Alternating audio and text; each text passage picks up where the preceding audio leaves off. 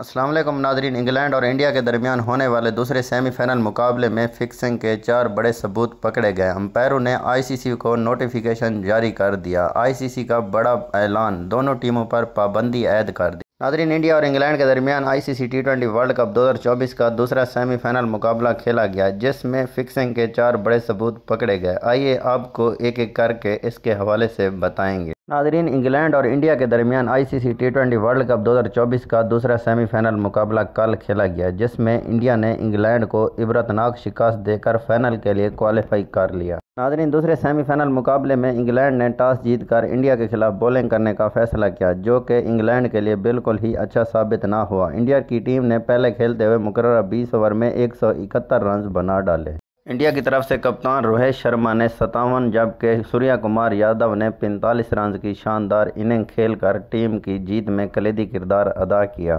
جسپریت بمراہ اکثر پٹیل اور کلدیپ یادو کی نپی تلی بولنگ کے سامنے انگلینڈ کی پوری ٹیم بے بس دکھائی دی۔ صرف ایک سو تین رنز پر ہی ڈھیر ہو گئی۔ کی طرف سے اکثر پٹیل اور کلدیپ یادو نے تین تین، جبکہ جسپریت بمراہ نے دو کھلاڑیوں کو پویلین کی راہ دکھائی۔ شاندار بولنگ اور بیٹنگ کارکردگی کی بنا پر اکثر پٹیل کو میچ کا بہترین کھلاڑی قرار دیا گیا۔ ناظرین، انگلینڈ کی انڈیا کے خلاف بدترین کارکردگی کے بعد بہت سے سوالات اٹھنے لگے۔ اس میں معین علی کا رن آؤٹ کرس جورڈن کا ایل بی ڈبلیو آؤٹ دینا اور لیونگ سٹونے کا ایزی آسانی سے رن آؤٹ ہونا یہ کافی سوالات چھوڑ گیا ہے۔ ناظرین، انڈیا کے خلاف انگلینڈ کی اس بدترین کارکردگی کے پیچھے کیا انگلینڈ کی بیٹنگ لائن کا فلاپ ہونا ہے یا انڈین ٹیم کی بہترین کارکردگی ہے یا اس سے اس کے پیچھے میچ فکسنگ کے شواہد ہیں؟ آپ بھی اپنی قیمتی رائے کا اظہار ضرور فرمائیں۔ ناظرین، ساؤتھ افریقہ اور انڈیا کے درمیان ٹی ٹوینٹی ورلڈ کپ دو ہزار چوبیس کا فائنل مقابلہ انتیس جون کو پاکستانی وقت کے مطابق شام سات بج کر تیس منٹ پر شروع ہوگا۔